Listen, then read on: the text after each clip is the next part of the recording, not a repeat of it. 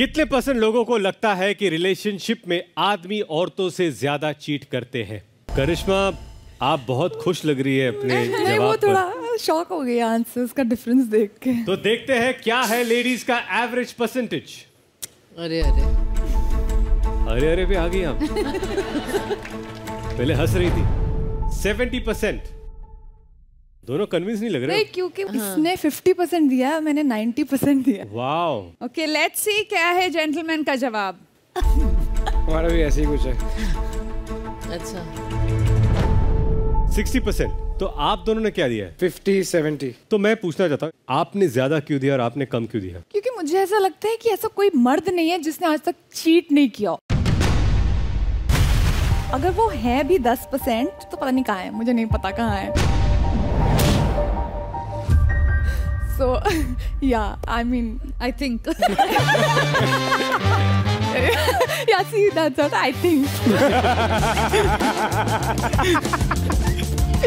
so, I don't think women cheat much. They don't have such urges in life. They are happy with one man. नहीं actually अब अब change हो गया है चीज़ें अब इक्वल हो चुका है पहले था कि हाँ पहले लड़के कमिटमेंट नहीं करते थे, हम भागते रहे रिलेशनशिप से या चीट कर देते थे पर अब लड़कियों के साथ भी सेम है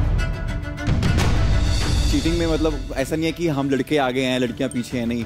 इक्वल चल रहा है जैसे हर जगह इक्वल चल रहा है तो यहाँ पर भी इक्वल है। हम अभी सिर्फ़ मेट्रो सिटीज़ की बात कर रहे हैं। आई थिंक छोटे शहरों में आज भी मर्द ज़्यादा चीट करते हैं। औरतें हैं घर पे बच्चा संभाल रही हैं पति के आने का वेट कर रही है और नहीं, नहीं। ये this is this is a मैं मिसकंसेप्शन दैट यू हैव बता रहा हूँ। अभी अगर आप छोटी जगहों पे चल जाओगे तो वहाँ पर ज़्यादा लड़कियाँ हैं।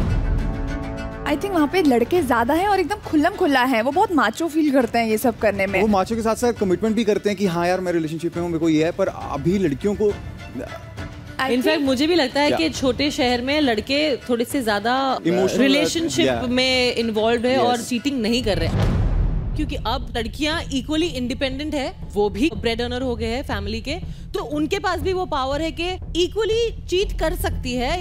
रिलेशनशिप में इन्वॉल्व भी होके फुल्ली कमिट करके करते हैं चीट ज़्यादा लोग यही सोचते हैं कि ये आदमी है तो ये तो झूठ बोलता होगा। तो इसने अगर लड़के के ऊपर इल्ज़ाम लगाया हंड्रेड परसेंट किया होगा। यही चीज़ अगर किसी लड़की के ऊपर लगी हो तो बंदा सोचता है कि पता नहीं यार किया होगा कि नहीं किया होगा। और मैंने फेस किया है इसको अभी। I just feel that men feel that it's okay for them to cheat. And if a girl is cheating, ये. तो ये हमारी हूँ। सोसाइटी में भी है ये। अगर आदमी चीट करता है या आदमी दूसरी शादी करता है तो वो फिर भी माना जा सकता है। बोलते कि चल ठीक है जैसे राजा महाराजों के टाइम से होता आ रहा है वो भी कर रहे हैं ये भी कर रहे हैं। औरतें करती हैं तो वो उन, उनको एक्सेप्ट नहीं किया जाता है।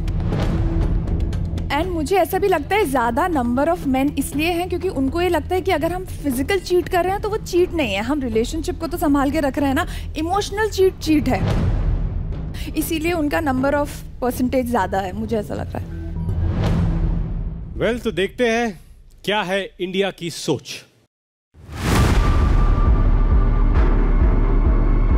बीस परसेंट तीस परसेंट चालीस पचास साठ सिक्सटी परसेंट वाओ जेंटलमैन की सोच मैच कर गई इंडिया की सोच से। देखा? मुझे लग रहा है मर्द बैठ के परसेंटेज भेज रहे हैं। Only on Flipkart with you. Watch play win now